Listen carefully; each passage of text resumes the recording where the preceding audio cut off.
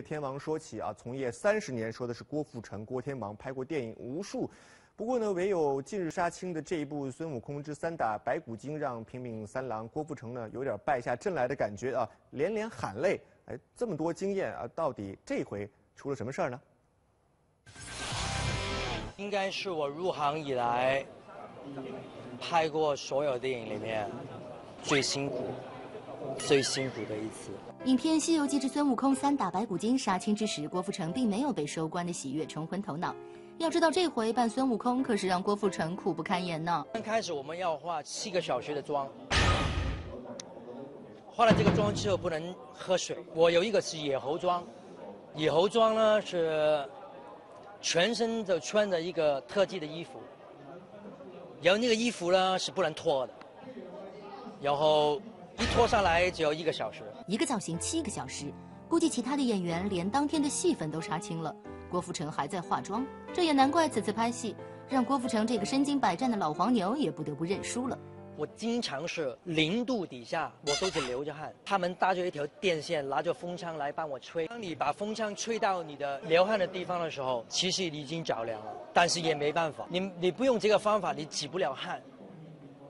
你你一直这样不停的流汗，你。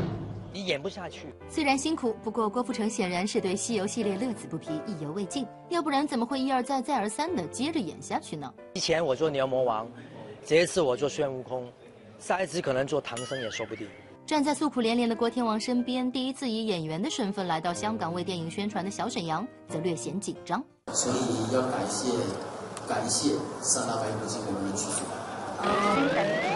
没有紧张，没紧张。不过初来乍到的小沈阳也受到了主办方相当客气的待遇。因为一个帅哥要演猪八戒是一个挑战嘛。还算好吧，因为我不承认我自己是靓仔。嘿嘿，对，呃，很不习惯，很不习惯别人这么说我。也确实，小沈阳演的是肥头大耳的二师兄，和帅完全不沾边。挑战经典，想必再也不能用搞笑来混过关喽。为此，小沈阳私下里可没有少做功课。因为这个拍之前呢，我也和电视剧版的马德华老师也沟通过。我说刚开始还是不不敢演，不敢演，因为这个角色马老师演的特特别的好，因为太深入人心了嘛。要说经典的《西游记》一直被翻拍，却从未被超越，小沈阳当然也害怕质疑声，但更多的是一种尝试和挑战。因为猪八戒这个人物可以无限的放大。尤其现在你说什么词，包括台词方面，怎么去放大它也没有问题，因为它是一个神话嘛。